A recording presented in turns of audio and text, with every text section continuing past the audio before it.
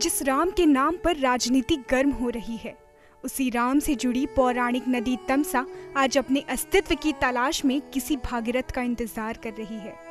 मढ़ा और विशुही नदी के संगम से निकली कई धार्मिक स्थलों को जोड़ने वाली तमसा नदी आज नाले में तब्दील हो गई है। ये बहुत ही पुराना मंदिर है भैया वार्षिक।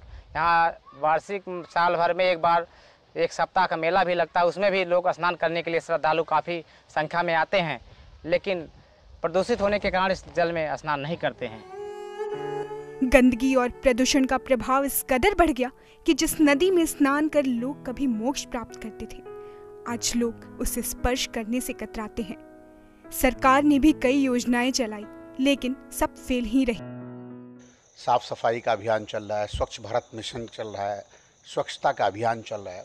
और इसी क्रम में अगर जो चीज़ आप संज्ञान में ला अगर यहाँ भी आवश्यकता होगी तो स्थानीय नगर पालिका के माध्यम से कह के उस क्षेत्र में भी अगर पर्यावरण के दृष्टिकोण से साफ़ सफ़ाई की आवश्यकता होगी तो उसको कराने के लिए हम निर्देश देंगे तमसा नदी यहाँ से निकलकर आजमगढ़ में स्थित दुर्वासा ऋषि के आश्रम से होते हुए बहती है। यहाँ के लोगों का कहना है कि इसमें स्नान से मोक्ष मिलता है।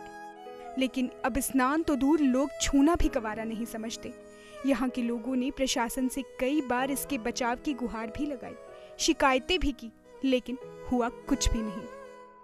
यह मोक्षदायनी नदी अपने बदहाली पर आँसू बहा रही है। आखिर इसके इस हालात का जिम्मेदार कौन है? Anurag Chaudhary E T Bharat Ambedkar Nagar.